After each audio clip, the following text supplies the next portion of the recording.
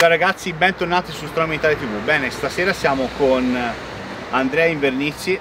Beh, direi che quasi un nuovo acquisto perché ti abbiamo visto nel 2018, 2018 al Maxima dove ha fatto risultati molto interessanti e ora ritroviamo al meeting nazionale dove beh, hai fatto risultati ancora più interessanti.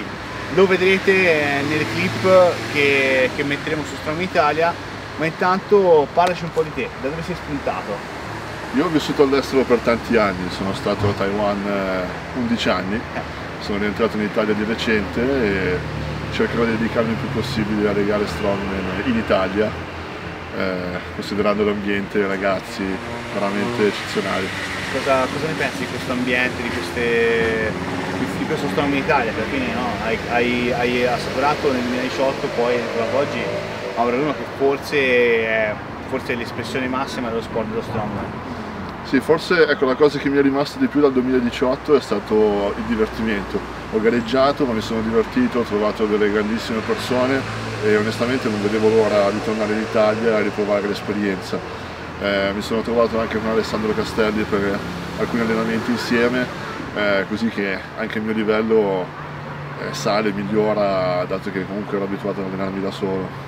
Certo, certo. Il, uh, qui oggi hai potuto provare diciamo, il lavoro in team comunque sì. eh, a squadre che non è usuale lo strong, lo strong è uno sport di singoli, ma comunque la coesione che si viene a creare in un lavoro del genere è molto importante e sì. l'atmosfera che c'è credo che sia qualcosa di, potrei dire, magico.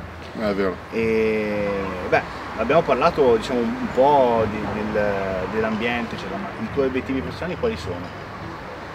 Nello strongman eh, sinceramente a me piacerebbe riuscire a staccare 400 kg, obiettivo mio personale, e mi piacerebbe riuscire a far parte della nazionale italiana. Eh, mi è piaciuto molto oggi questa esperienza team, eh, molto interessante anche la fase strategica decisionale e mi piacerebbe ripetere l'esperienza magari in un ambiente internazionale con dei certo. compagni di squadra di altissimo livello come sono i ragazzi qui. Beh, ti faccio una domanda non scomoda ma interessante. e se io ti dicessi che tu ieri hai staccato 400 e fai parte della nazionale, domani qual è il tuo obiettivo? Migliorarmi, Beh. sempre, non c'è mai limite.